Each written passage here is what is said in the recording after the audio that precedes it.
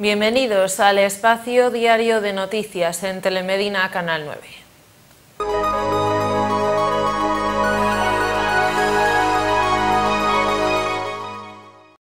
Servitrama Transportes te ofrece esta sección.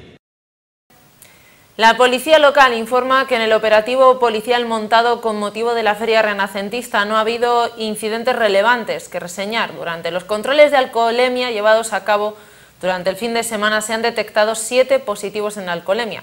Todos los positivos se tramitarán como sanciones administrativas, ya que arrojaron resultados entre 0,31 y 0,58 miligramos por litro en aire, no superando ninguna de las pruebas realizadas los 0,60, necesaria para ser considerada sancionable penalmente. Estas infracciones son consideradas muy graves, lo que podría conllevar multas de hasta 1.000 euros y la retirada de 6 puntos a cada uno de los conductores.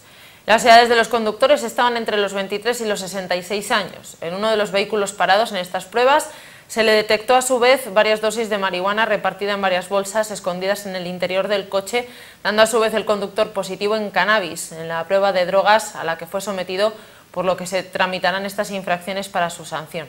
Desde la policía local se seguirán realizando acciones preventivas en esta materia, sobre todo durante los fines de semana o días festivos, con la finalidad de evitar este tipo de conductas al volante que puedan poner en riesgo la circulación.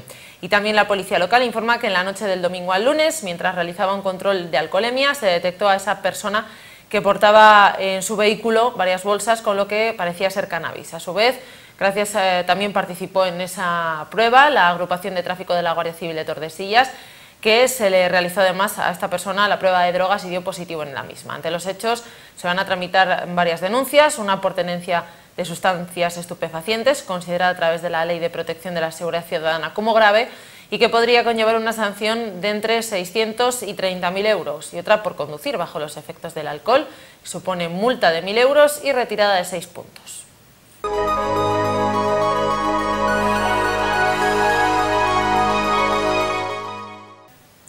Y esta mañana pasamos ya a las actividades que se nos presentan de cara al prefiestas, porque ya se ha presentado esta mañana un evento deportivo un tanto colorido, lo van a comprobar. Se llama Powerful Color Race. Llega a Medina del Campo de cara a prefiestas.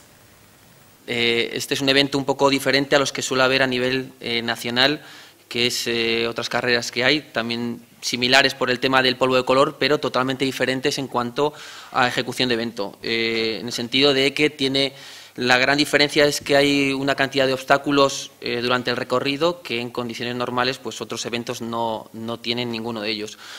Eh, como bien dijo, pues tema de, resbalina, habrá una resbalina de 50 metros, eh, habrá pues pista americana, bolas saltarinas, resbalina doble, que también habrá con una terminación en piscina, escaladas, en fin, habrá una serie de entrelazados de cuerda, cascadas, eh, barras de acero, bueno, un montón de pruebas que están reflejadas en el recorrido, que luego comentará Julio.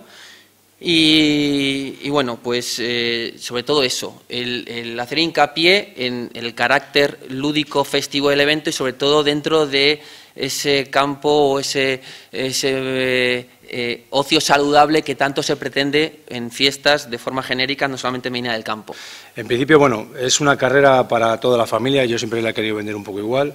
Eh, me apetecía mucho hacer, eh, con ayuda de, las asociaciones, un evento de este tipo y la verdad que ha sido muy, muy precipitado todo, pero bueno, ya al final yo creo que ha salido adelante y sobre todo gracias a la colaboración de, la hostelería y de las asociaciones de, vecinos.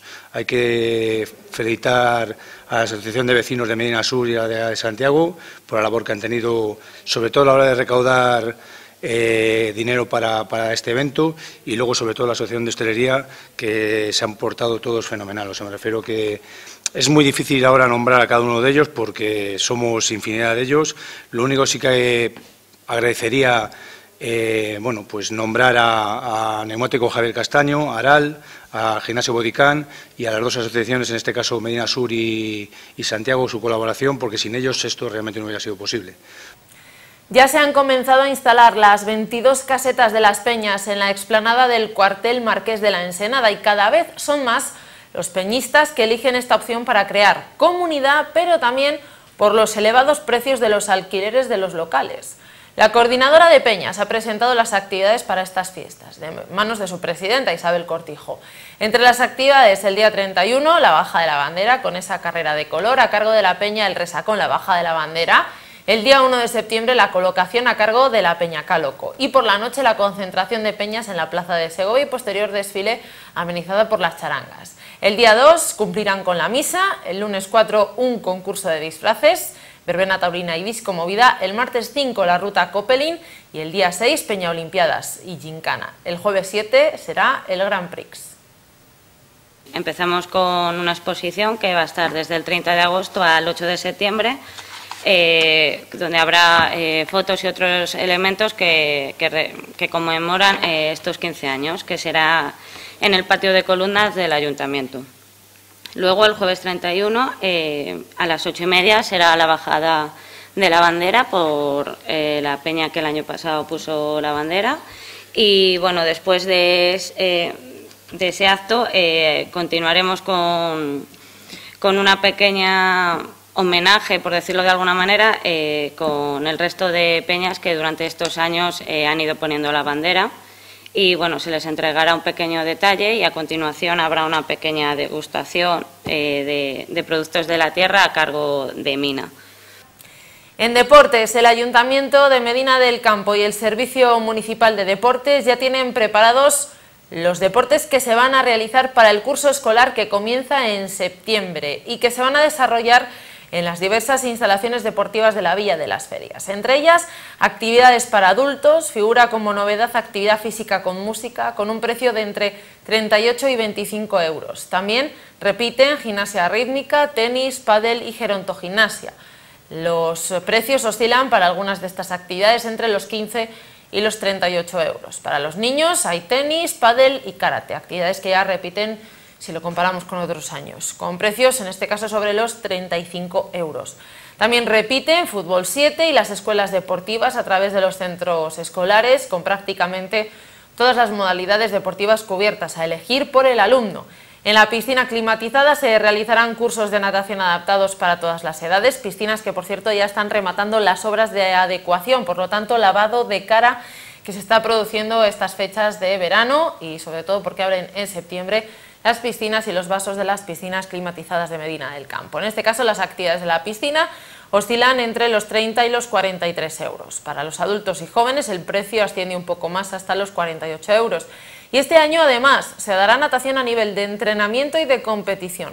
Las inscripciones y más información en el Servicio Municipal de Deportes, en el Ayuntamiento y a partir del día 18 de septiembre en las oficinas del Polideportivo Pablo Cáceres. Ese mismo día, de hecho, se podrán formalizar ya inscripciones para fútbol 7, patín y gimnasia rítmica.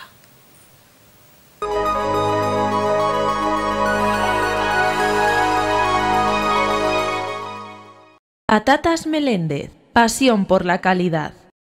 Patrocina este espacio. 137 municipios de la provincia de Valladolid han solicitado a la Diputación la realización de diferentes trabajos forestales que se desarrollarán a través de las seis cuadrillas contratadas por la institución provincial para realizar trabajos forestales de mejora medioambiental y de prevención de incendios en la provincia. En concreto, los 137 municipios han realizado un total de 365 solicitudes en materias como la prevención de incendios, la apertura de fajas auxiliares contra incendios en carreteras y caminos rurales, actuaciones relativas a tratamientos en parcelas de montes públicos próximas a los pueblos, la adecuación de áreas recreativas y de riberas y la apertura y mantenimiento de sendas. También se han solicitado trabajos de colocación de señales, reposición de mojones, limpieza de pasos de agua y despeje de cunetas, plantaciones o reposiciones de marras. A día de hoy se ha actuado ya en un total de 61 municipios de la provincia. Los trabajos se realizan a través de las seis cuadrillas contratadas y que están operativas desde el pasado 5 de junio, distribuidas en seis áreas, Valladolid, Finca Cotobajo Matallana, Medina de Río Seco, Tordesillas, Íscar y Peñafiel. El resto de actuaciones se irán desarrollando hasta el próximo 1 de diciembre.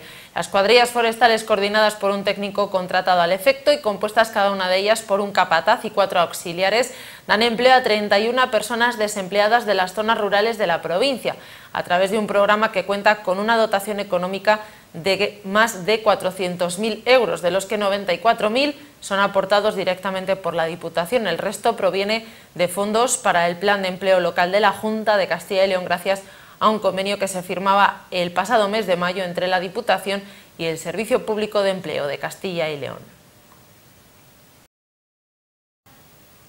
Cerramos el informativo de hoy con un suceso que se produce en Pedrajas de San Esteban, se produjo en el día de ayer, además en Pedrajas de San Esteban también comienzan las fiestas este fin de semana. Una persona cuya identidad no ha sido revelada por el momento ha atracado este lunes una sucursal de Cajamar en Pedrajas de San Esteban, tras lo que se ha dado a la fuga esta persona con el botín. Los hechos ocurrían en torno a las 2 del mediodía, cuando esta persona interrumpía en la sucursal provisto de un arma blanca y exigía la entrega del dinero cuya cantidad tampoco ha trascendido. Tras ello, se daba la fuga con el dinero obtenido sin que por el momento haya sido detenido.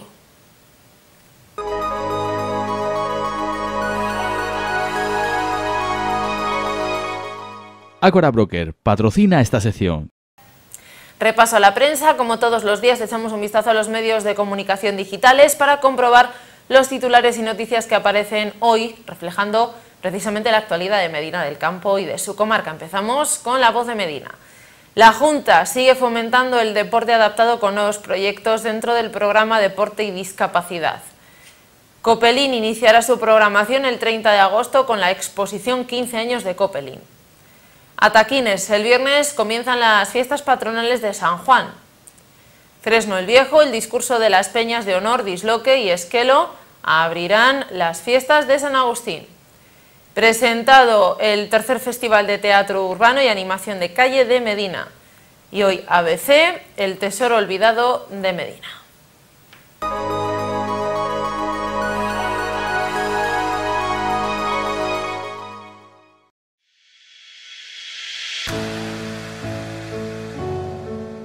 Hace más de 20 años, arrancamos emocionados nuestro primer camión cisterna para dar comienzo a un sueño, Petromás. Y junto a un fuerte equipo hemos sido partícipes del día a día de nuestros vecinos, de sus hogares y de sus negocios. Desde Medina del Campo suministramos gasóleos A, B y C en toda la comarca, allí donde nuestros clientes lo necesiten. Mimando cualquier detalle, ofrecemos un servicio eficaz en el que confiar plenamente durante todo el año. Petromás es un gasocentro independiente y eso nos permite apostar por un servicio mucho más limpio y de mejor calidad. Desde 2012, analizamos nuestra huella de carbono con un triple objetivo.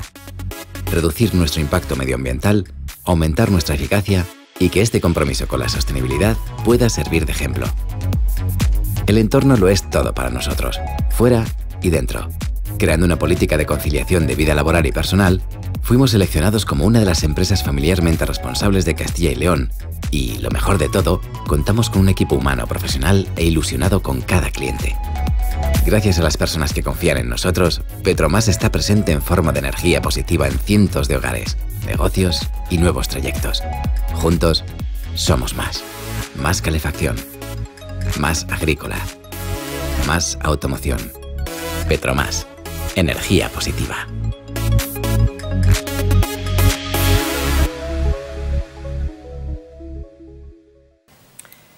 En cuanto al tiempo, vamos a seguir teniendo una semana de mucho calor, aunque con una ligera bajada de termómetros más pronunciada de cara a este próximo fin de semana. Hasta el viernes, temperaturas por encima de los 33 grados, según la Agencia Estatal de Meteorología. En la jornada de hoy se han experimentado termómetros entre 21 grados, la mínima, y las máximas alrededor de los 35. Cielos despejados, Nubosidad que va a aparecer ya en la jornada de este miércoles, eh, principalmente en la primera mitad del día, con nubes altas y con temperaturas que van a continuar ascendiendo en torno a los 34 grados, las mínimas alrededor de los 17, por la tarde volverán los cielos despejados. Mañana también viento tranquilo. Cuando más va a incidir el viento será a partir del jueves y del viernes, rachas que se van también a convertir en fuertes en la jornada del sábado con rachas que van a superar los 25 kilómetros por hora. El jueves y el viernes, por el momento, temperaturas muy parecidas, puede que suban algo más el jueves. Y decirles que el fin de semana, el sábado, se siguen manteniendo los cielos cubiertos y una ligera bajada, en torno a los 27 grados el sábado y temperaturas mínimas el fin de semana de 13 grados. Aunque sí que es cierto que el sábado vamos a tener nubosidad prácticamente durante todo el día con ese viento. El domingo por la tarde la Agencia Estatal de Meteorología prevé que vayamos a tener lluvias, tormenta de verano el domingo por la tarde. Todo está por ver, sobre todo por la incidencia de ese viento que empezará a entrar a partir del jueves. Pero según eh, la meteorología, todo hace indicar que unas pequeñas tormentas sí que aparecerán el domingo por la tarde, solamente ese día. El domingo además bajarán los termómetros, ligeramente solo, pero luego la semana que viene seguirán remontando.